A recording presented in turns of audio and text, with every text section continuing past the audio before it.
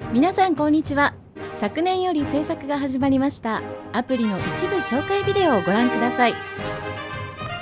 このアプリで子どもたちが自宅で楽しんで英語学習をしクラスでの時間をもっと有意義に使えるようになるでしょう。では見ていきましょう。ここでは子どもたちがオリジナルの王国を作ることができます。このアプリはモチベーションとゲミフィケーションの理論に基づいて構築されています。